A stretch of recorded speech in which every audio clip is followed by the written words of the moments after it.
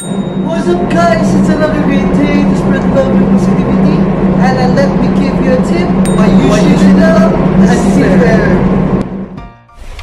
We know how to clean the ship.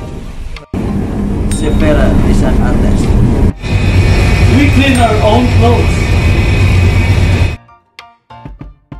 Seafarer is a chef. We can do hot job for you. Seafarer is a painter. We can do electric stuff for you. We can do metal work for you. We are in charge of the operation, maintenance, and repair of the main engine, auxiliary engine, and other machineries on board.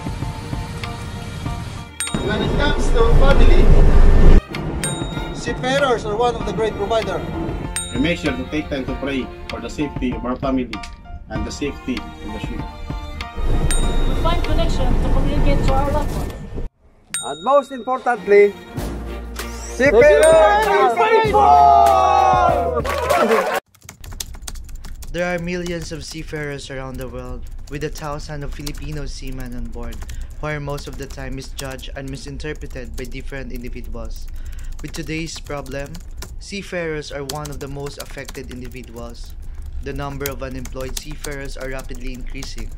So let us not forget to ask our seafarers friends, colleagues, and family how they are and let us give them always our full support.